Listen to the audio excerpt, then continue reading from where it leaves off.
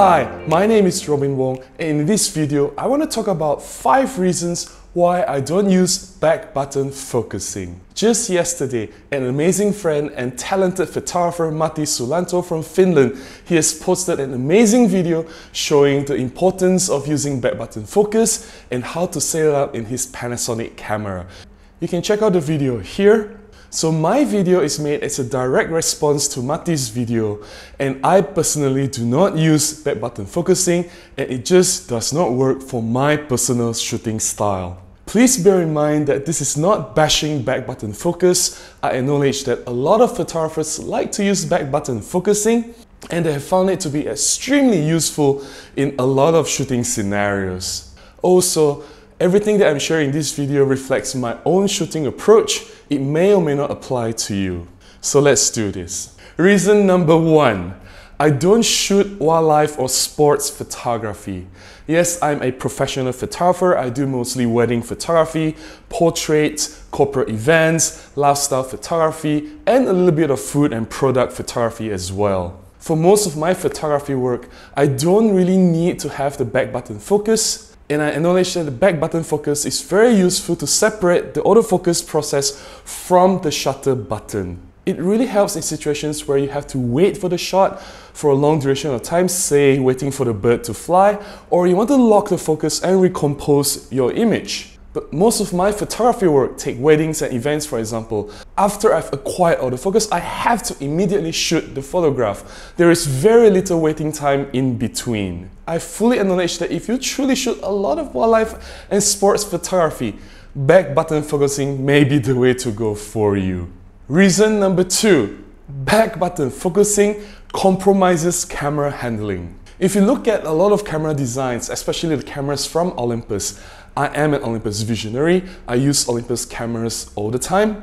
There is a dedicated thumb rest at the back of the camera. The thumb rest area allows your thumb to sit on it comfortably and it allows a much secure handling of the camera. The photography that I'm doing requires long shooting hours. I'm holding the camera for hours and hours. The comfort of handling the camera is very important for me.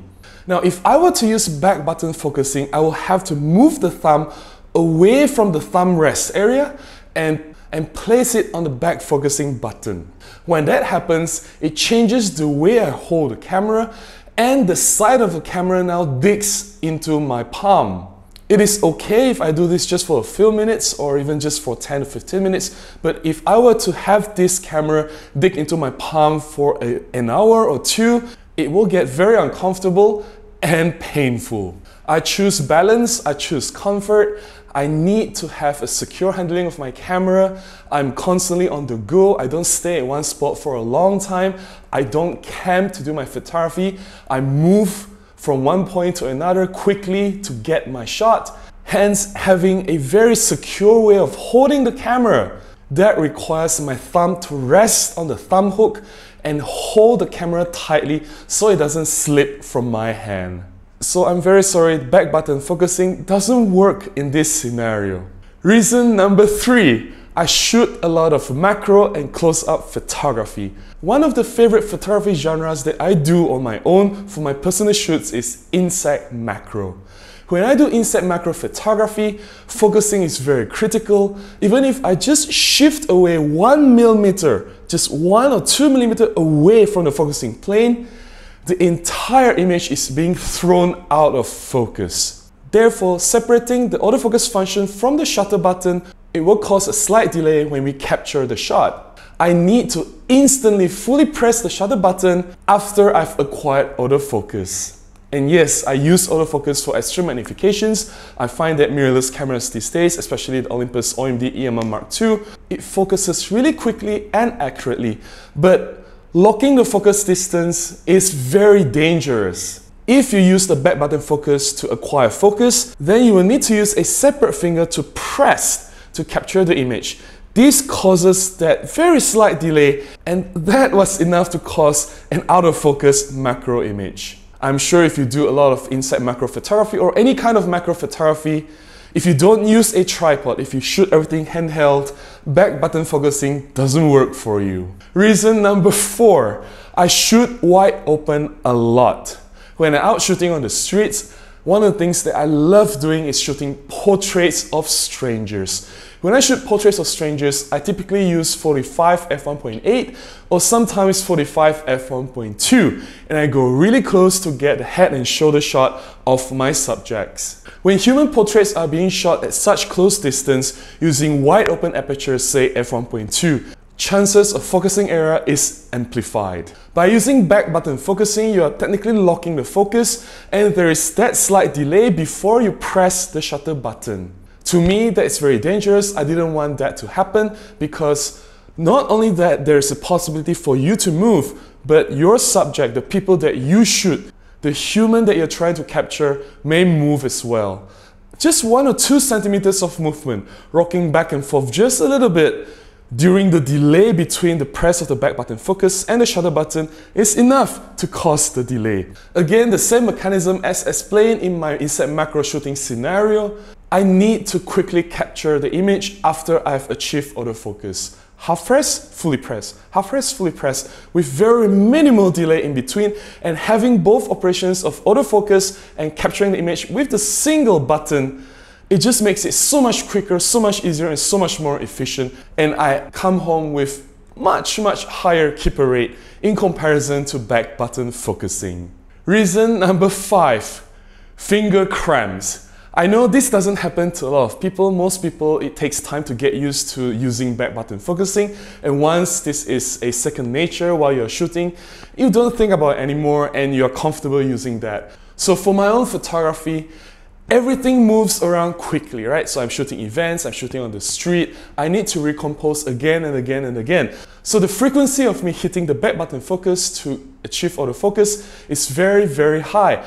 Everything moves constantly, everything happens very quickly. I need to just press the back button focus again and again and again. And by pressing it so many times over a long duration of time in such an awkward position, it just stresses the ligaments and the muscles on my thumb.